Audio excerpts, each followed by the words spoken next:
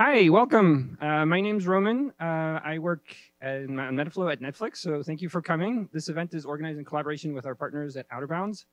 Uh, we will have a series of talks, lots of them. Uh, so in between uh, each talk, there'll be a time for questions. You have two mics in the alleyway that you can go and ask questions with, um, and that's it. So the first speaker, or just introducer, is uh, Faisal Siddiqi from Director of Machine Learning Platform at Netflix.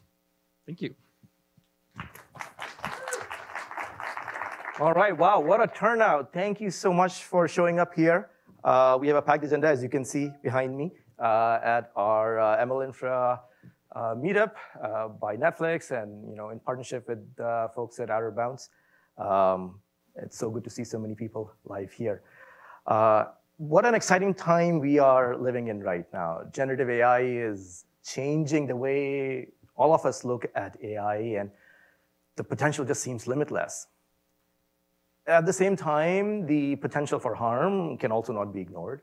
And as those of us who enable ML practice in our companies, um, it, is, uh, it is our responsibility uh, to also think about how we can enable the responsible deployment of this technology.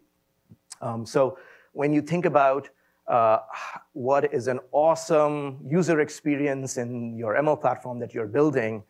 Uh, also think about what are the guardrails, the tooling, the observability you need to build into these systems. So uh, it's easier for the ML practitioners to be able to sort of uh, be mindful of the power that they're in, in unleashing in this world.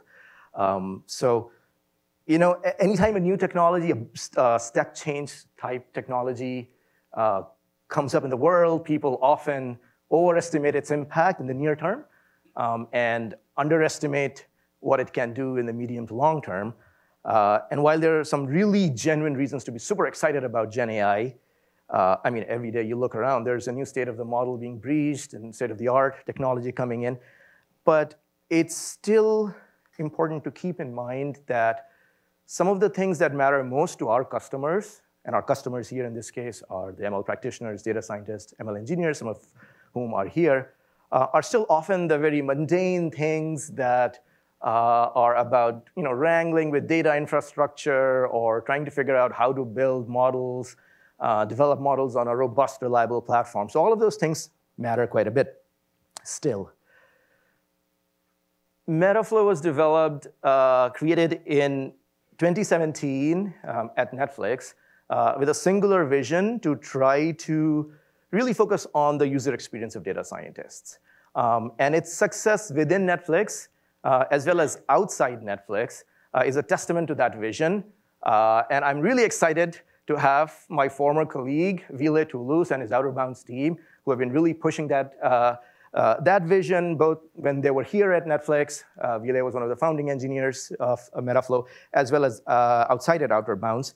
Um, and so I am, I'm, I'm looking forward to, to uh, seeing how uh, you all can also learn about using Metaflow at scale in today's fast-changing space.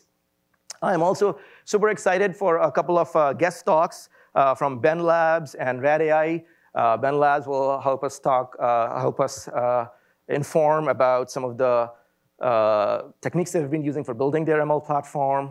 Uh, RadAI folks will talk about how they're enabling ML for radiologists, something uh, which is a very real life uh, uh, you know, uh, use case. and then there are about five talks from folks within Netflix and different, different aspects of machine learning, both from a practice perspective as well as from building the platform perspective, how, how we're leveraging and building our machine learning platform here at Netflix. Uh, so there is a lot of uh, really good content for you all to absorb, and um, uh, hopefully that you'll, you'll find value in, in, in making the trip uh, here in South Bay. Um, you know, it's been, what, good one, two years since we're out of the pandemic, um, and many of us have started going in events like these. But one thing that still continues to strike me is how much better the in-person experience is for events like these right? There's something about the human connection, the storytelling, that is just so hard to replicate in a, in a remote environment.